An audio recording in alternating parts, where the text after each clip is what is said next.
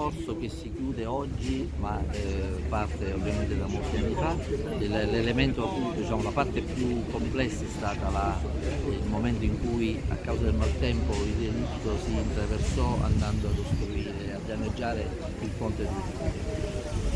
Evidentemente c'è un profilo che riguarda la tutela del decoro, dell'ingresso no? della cittadinanza, che è un profilo importante. Dal nostro punto di vista l'elemento che ci dava più preoccupazione era la presenza di un rischio permanente per la sicurezza dell'ambito portuale e della navigabilità del canale portuale,